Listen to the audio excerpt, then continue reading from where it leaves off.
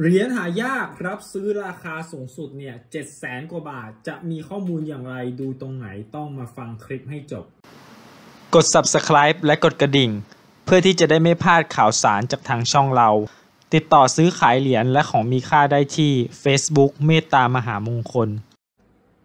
สวัสดีครับ ยินดีต้อนรับเข้าสู่ช่องของเรานะครับสำหรับในคลิปคลิปนี้นะครับ จะมาให้ความรู้รับซื้อเหรียญหายากรวมมากกว่า 7 0 0 0 0 0 บาท มีข้อมูลยังไง ดูตรงไหนต้องดูให้จบนะครับ ก็เดี๋ยวมาติดตามแล้วก็มารับชมกัน ก่อนไปรับชมอย่าลืมกดติดตามกด subscribe กดกระดิ่งให้กันด้วยนะครับ ก็ก่อนมารับชมเดี๋ยวให้ดูพระที่เคยเหมามาก่อนนะครับว่ามีพระอะไรบ้างเนาะ อะ เดี๋ยวให้ดู ว่ามีพระอะไรบ้างนะครับอะมาเริ่มจากองค์แรกเลยนะครับ เป็นพระที่เคยเหมามานะครับ เป็นหลวงพ่อเดิมนะครับ เหรียญเล็กนะ เหรียญนี้เหรียญจิ๋ว เหรียญเล็กนะครับ วัดหนองโพนะครับ ก็อายุเนี่ยเก่าแก่มากๆ 2494นะครับ ตรงกลางเนี่ยเป็นอักขระเลขยันสวยๆแบบนี้นะครับ หากใครชื่นชอบอยากบูชาหลวงพ่อเดิมสายเหนียว นะครับอ่าดึงดูดซับพุทธคุณแรงนะครับ ก็คุยกันได้นะครับ หลวงพ่อเดิมเนี่ยเป็นพระเกจิอาจารย์องค์หนึ่งที่ปฏิบัติดีปฏิบัติชอบอยู่แล้วนะครับอะโอเค องค์แรกผ่านไปเนาะต่อมาองค์ที่สองนะครับเป็นพระครูยานวิราชหลวงพ่อแดงนะครับ ก็เป็นพระเหมานะอายุไป12 ปีนะครับ องค์นี้ก็ได้มาแบบเหมาเหมานะครับ เรียกได้ว่าเหมามาเยอะนะ ก็เลยได้มา นะครับ ก็เล่นแค่ชอบเช่าแค่รู้ก็แล้วกันเนาะก็สายใครก็ใครมีมุมไปต่อก็ทักทายได้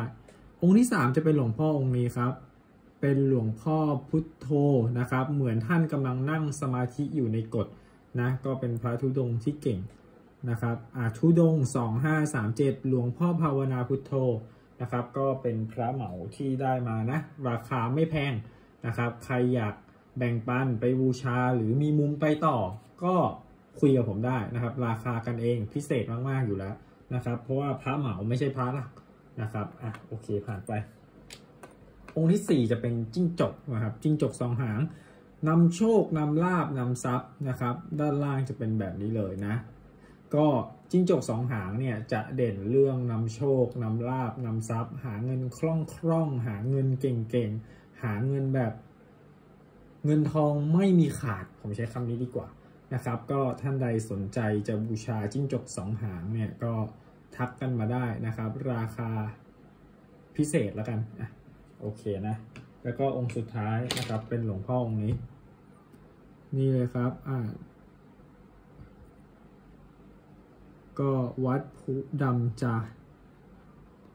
อำเภอพระพุทธบาทจังหวัดสระบุรีนะครับ ก็ หลวงพ่อฟังนะครับ เหมามานะ ก็ไม่ใช่สายตรงนะครับ คือถ้าสายตรงคงต้องรู้จักชื่ออะไรไปแล้วนะ ก็ใครมีมุมก็ทักทายกันมาได้ก็แล้วกันนะครับ อันนี้เป็นพระเหมานะ ก็ถ้ามีเยอะๆ ถ้าเห็นว่าคุ้มนะ ผมก็เช่าแค่ชอบนะ ก็ถ้ามีเยอะถ้าชอบก็ราคาคุยกันได้นะครับ แต่คุณต้องเข้าใจก่อนว่าพระเหมาเนี่ยอาจจะไม่ได้ราคาแพงนะครับ เพราะว่าไม่เหมือนพระหลักนะ พระหลักเนี่ย คือองค์เดียวเนี่ยอาจจะหลายหลายแสนหลายล้านนะครับแต่ว่าพระเหมาเนี่ยก็คือเหมาเหมาขึ้นมาอ่าจะถูกจะแพงเนี่ยบางทีเนี่ยเป็น10โลอะราคาหลักร้อยยังมีเลยคุณ อันนี้เรื่องจริงนะครับพระเหมาเนี่ยเรื่องพระเหมาเนี่ยเป็น10โลราคาหลักร้อยยังมีเลยนะครับพระเหมาไม่ได้เน้นที่จำนวนนะครับ เน้นที่อ่า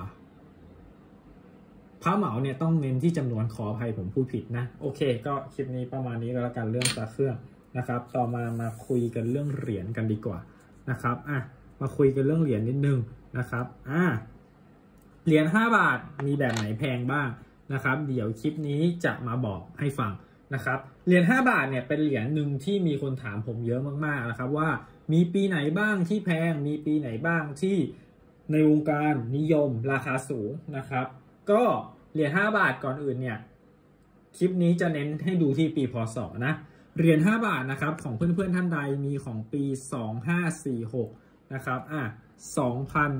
2546นะครับถ้าสภาพสวยๆนะครับเกรดสูงๆนะสัก MS 70เนี่ยหรือ MS 69ก็ได้นะครับราคาเนี่ยเหรียญละ 500 บาทเนี่ยโอ้โหนักสะสมไม่ต่อเลยนะครับถ้าใครมีเกรดสัก m s 7069เนี่ยเหรียญละ 500 บาทนะปี 46 ไม่มีการแทบไม่ต้องต่อเลย ใช้คำนี้ก็แล้วกันนะครับ อีกปีพศหนึ่งที่แพงนะครับของเหรียญ5บาทนะครับคือปี 40 นะครับ 5 บาทปี 40 ท่าแท้นะครับ ท่าแท้นะ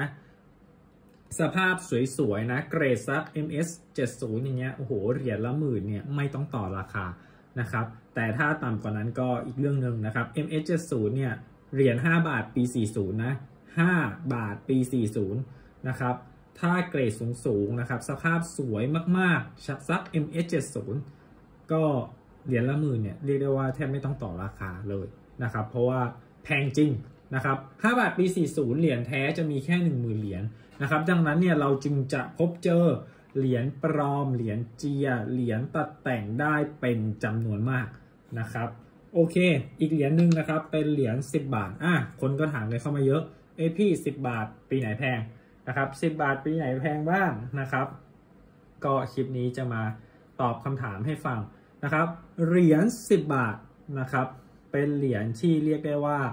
คนถามกันเข้ามาค่อนข้างเยอะพอสมควรนะครับ เหรียญ10 บาทเนี่ยปีที่แพงปีแรกนะครับคือปี 31นะครับ ใครมีเหรียญ10 บาทปี 31 สภาพ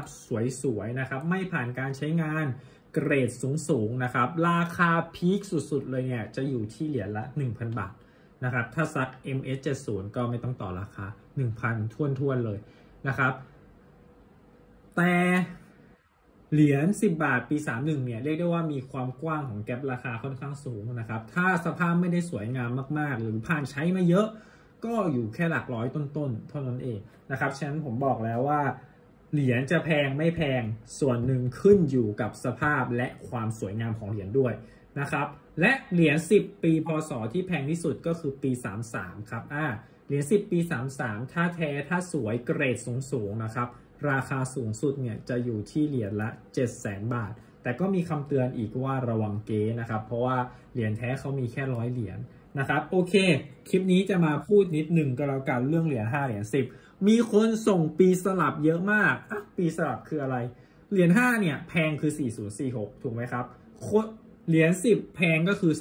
3133 คนจะส่งสลับครับ ส่งเป็นเหรียญ5ปี 31 กับเหรียญ5ปี 33 ซึ่ง